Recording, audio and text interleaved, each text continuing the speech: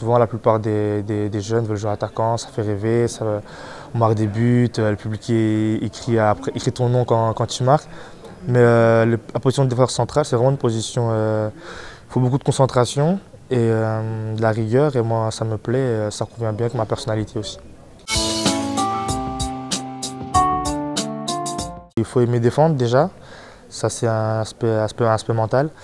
Après, ben, être, concentré parce que c'est une position qui est, assez ingrate parce que quand un attaquant peut rater 5 euh, occasions et en, mettre une au fond et à la fin ça est 1-0, c'est l'homme du match. Alors qu'un défenseur peut avoir 5 interventions à faire, il fait 4, très bonnes interventions, la dernière il se rate, il y a un but, on perd, euh, on perd 1-0 et on dit que c'est de sa faute. Donc euh, c'est une position où il faut être très concentré du début jusqu'à la fin. Ça demande aussi Travail de position tactique, ça, ça s'apprend à l'entraînement en enchaînant les matchs. Maintenant, on demande aussi aux défenseurs de savoir relancer. Donc, il euh, faut aussi avoir un bon jeu de passe, au moins un jeu de passe correct, pour pouvoir essayer de relancer. Parce qu'on sait que maintenant, au niveau, ben, la construction part de derrière le plus souvent et c'est important aussi de, bien travailler ses passes à l'entraînement. Il faut être courageux, il faut essayer d'avoir son bac, c'est important parce qu'on ne sait pas euh, si on réussira un jour, parce que le foot ça va tellement vite, c'est très difficile. Il y a euh, beaucoup d'appelés, peu d'élus. Donc je conseillerais à tous les enfants de, décrocher son bac tout en étant euh, concentré sur, euh, sur son jeu, ses entraînements. C'est très important pour, pour le sud de, leur vie. Peux prendre deux joueurs qui ont les mêmes, qualités, les mêmes caractéristiques.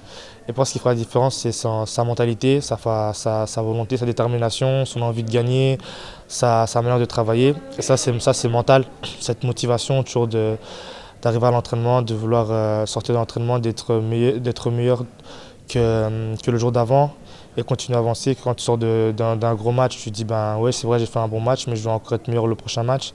Et cet aspect mental qui, qui, te fait avancer en fait, qui te, qui te donne envie d'aller de l'avant et euh, qui, te, qui, te, responsabilise aussi parce que c'est un sport très, très exigeant, surtout quand tu es au niveau professionnel.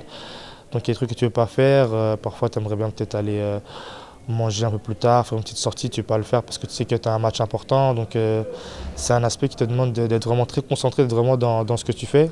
Et c'est vrai que c'est très exigeant et mentalement il faut être fort pour, pour jouer au niveau. Tu viens du centre de formation, tu regardes les pros, tu as l'impression que tu te dis ah oui c'est le foot c'est facile quand es parce que parfois tu dis ouais ils ont des beaux terrains c'est beaucoup plus facile pour eux avec des grands joueurs c'est plus facile. En fait justement quand tu arrives au haut niveau l'écart se, réduit. Donc ce qui fait que tu dois toujours être au top. Tu ne peux pas venir à l'entraînement dire ah, aujourd'hui je suis un peu moins bien je vais essayer de me reposer. Tu ne peux pas parce que si tu, te laisses aller c'est un autre qui va prendre ta place. Et après de ce moment tu te dis ben si eux ils l'ont fait moi je suis capable de le faire.